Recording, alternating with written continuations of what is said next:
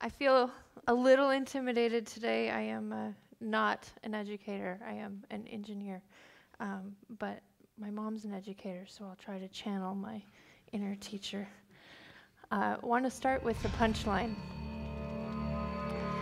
August 5th, 2012, 1023 Pacific time. Things are looking good. This is control room in Pasadena. Vehicle reports entry interface. Are beginning to feel the atmosphere uh, as we go in here. Uh, it is reporting that we are seeing G's on the order of uh, 11 to 12 Earth G's. Commercial 2 is starting. We are now getting telemetry from Odyssey.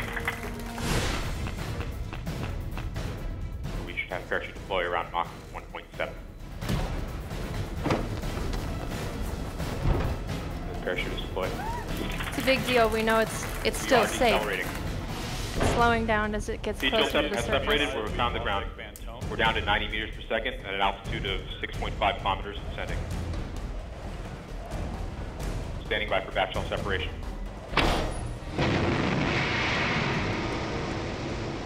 We are in powered flight.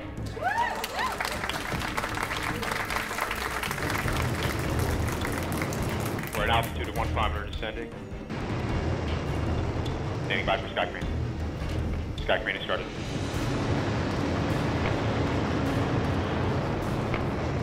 Single eyes, you remain strong.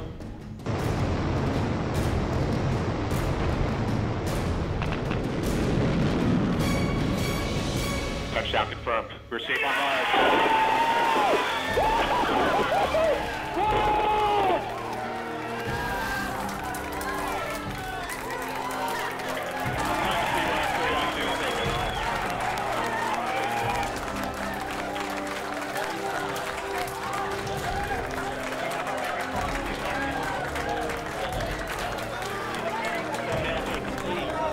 Got thumbnails. Thumbnails are pictures It means we know it's safe. And you can see a wheel, and that's my hardware.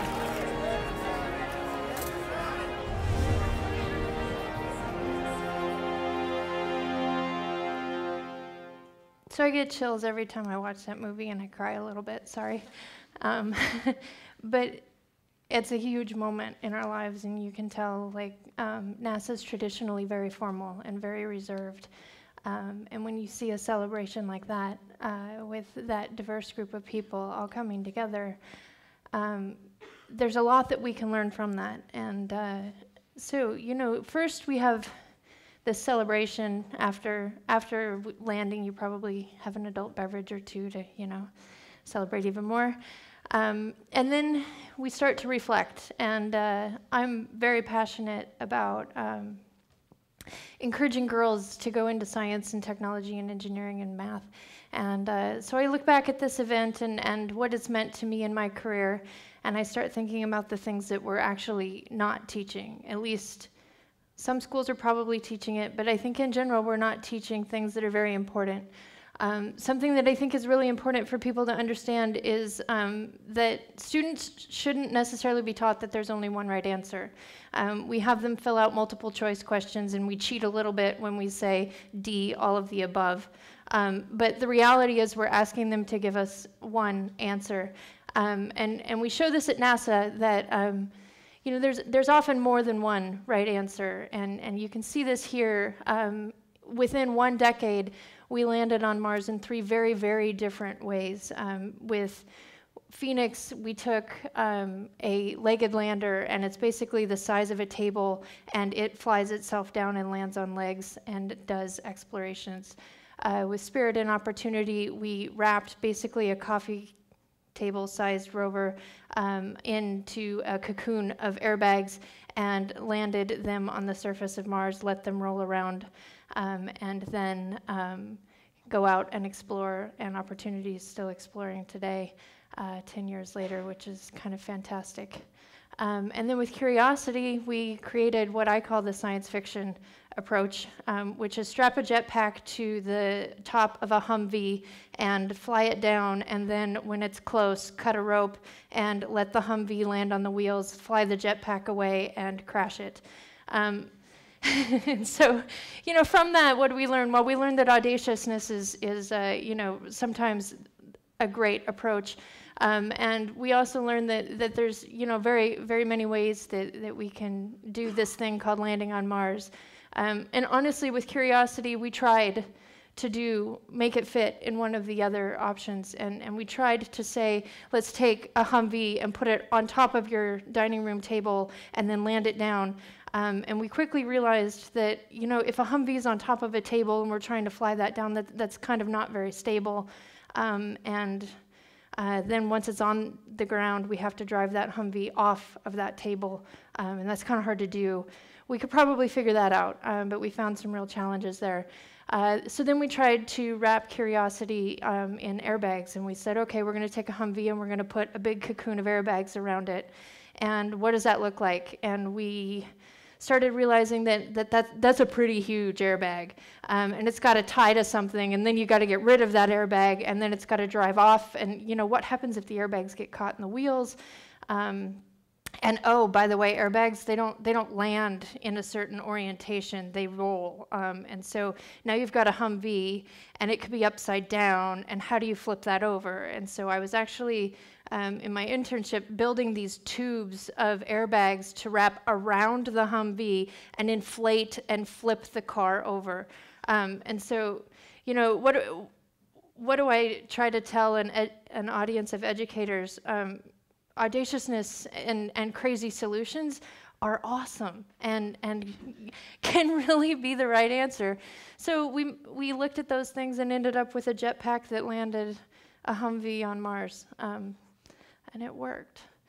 Another thing, um, you know, we, we often see in movies and, and, television shows these things that have to fit in in 45 minute programming slots that are you know it's it's very it's very trite that um, you are solving this problem and, and there's this eureka moment that happens and it makes for really good TV. But the real world is not like that. We started working on Curiosity in 2003, and I promise you, she looked nothing like that. Um, it takes a lot of tries to get it right, and a lot of testing, and a lot of um, biting off small pieces of the problem and, and answering little pieces at a time that organically get you to the final answer. But not often is it, you know, what you watch in a television show where Dr. House has walked in and he's got his, his five pieces of data and eureka, he knows exactly what the problem is with the patient on the table. So I'm going to show you something that I've never shown anyone. Um, as an engineer and a designer, um, the, the evolution of our product is, is very um, personal and, and something that, you know, we, we like you to see the finished product. We don't like you to see how the sausage is being made. But I'm going to show you that today because it, it, it, illustrates this point. Um, so I was the lead of the mobility hardware um, and in 2004, this is what the mobility system looked like. So you can see we've got some pretty crazy looking wheels there. Um, and we've got kind of the layout of this rocker bogie system. And we've got kind of a differential that goes straight across the top. Uh, definitely in the cartoon stages at this point, we're really playing with how big does this need to be? How much payload can this support? Um, just, you know, almost a year later, it almost looks like we backed up, right? Like the wheels look less fidelity, it looks even more blocky and cartoony. Um, and, and that's really true. We, we did. We kind of slowed the project down for a while, and we really had to evaluate what it is we were trying to do with this mission. And sometimes that happens in, in problems that we're trying to solve, right? You just need to kind of step back for a while and, and maybe the answer just comes to you. And, and so for us, this was this was a really hard time where you know you're trying to make forward progress and, and show that you're delivering on something, but you're not. Um, you're actually creating a stronger foundation by learning and by um, really making sure that you're going to design and build the right thing when you're ready to, to start that team and hit go. Um, now she's starting to look like a rover, huh? Uh, starting to get some tread on the wheels, starting to have some spokes, starting to see some real detail in the suspension. This is November 2005. Um, and you remember we didn't land until 2012, so what did we do in the meantime, right? Like that's seven years Are we sitting on our hands and drinking coffee? Well, it gets even more fidelity here. Um, now you can start to see that, that there's some extra hardware being added. The differential's kind of standing off. There's this weird tape measure kind of looking thing on um, one of the suspension tubes there, and the wheels kind of look about the same. Um, and that's because as we start moving through the design and we start testing and we start answering questions, we find more questions and we find that we have to answer and solve other problems. And, and so it's this, this journey and this organic process that happens um, in, in all of, uh, I think, real world life. Um, but you can start to see here, we're, we're testing her, um, and we test her a lot. We test her in the clean room, uh, we drive her, we spin her around and make sure she's safe. And every time we start doing these tests, we learn more and more. Sometimes we're changing software, sometimes we're changing hardware, sometimes we're just thankful that it's working. Um, but you can start to see we put it in a chamber, we get it really hot, we get it really cold, we spin it around on a centrifuge, we land it.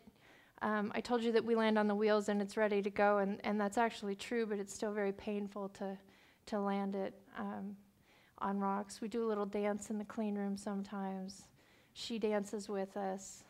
Um, that's me in a bunny suit, um, getting to see her move for the first time. And there are these really rewarding, special moments um, when you are so invested in solving problems that you're passionate about solving and how can we bring that into schools right? And i think big is doing a great job of that of creating problems not even creating them, but helping students find their way to solving problems that they're really passionate about. And, and that's what being successful in any career is about. It's about finding the problems that you're passionate about solving. And if that takes a 10 years life cycle like Curiosity did, then that's okay because you enjoy it and love it every single day.